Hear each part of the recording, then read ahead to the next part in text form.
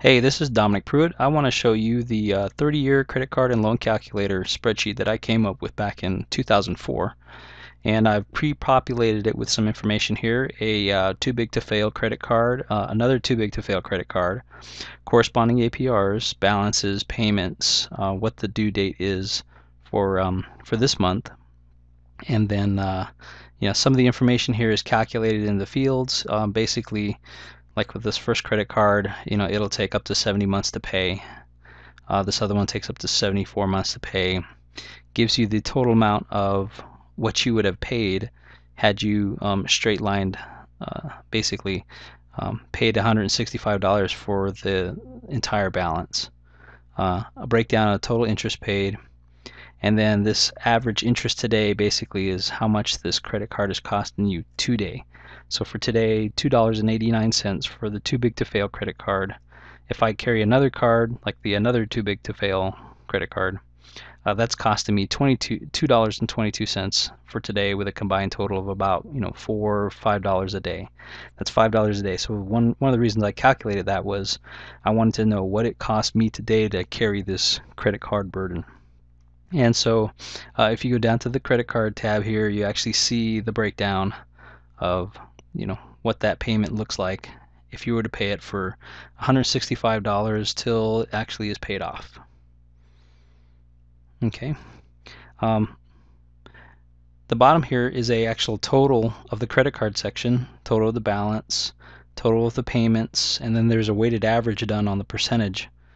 Brings the date down straight and it gives you an idea at least on what the um, situation would be like if you were to dedicate the full 260 to both cards. It actually, um, you end up paying off the total balance a little sooner than the longest card. So in this case, it would be, um, you know, 74 payments. We bring it into about 71 payments. Again, you're dedicating dollars to a debt and then rolling, once you pay off a debt, then you're rolling the rest of that balance into another one. So that's a summation for the credit card section. And if you if you want to know a little bit more about each of these, this little red tab here uh, shows uh, a little definition of what this this um, column is. And again, the same thing is for loans. You know, car loan, mortgage loan, six percent, five percent balances. You know, of course, you can see the mortgage loan takes up to 286 days to pay. Uh, this is a 30-year calculator, so if you do anything beyond 30 years, it, it won't do the calculation.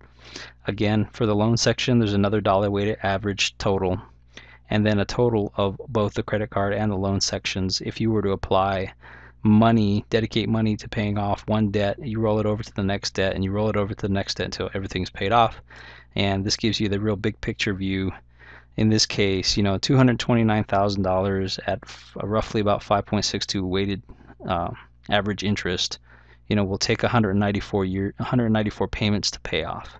And here's the the date on when it actually gets paid off. So again, the loan tab shows you what the breakdown of the car loan and the mortgage is. If you want to know details about how each payment structure is is um, paid off.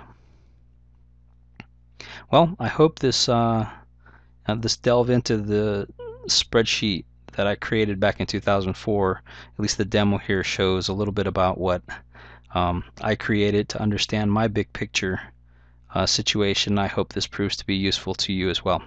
Hey, thanks for watching the demo. Take care. Bye.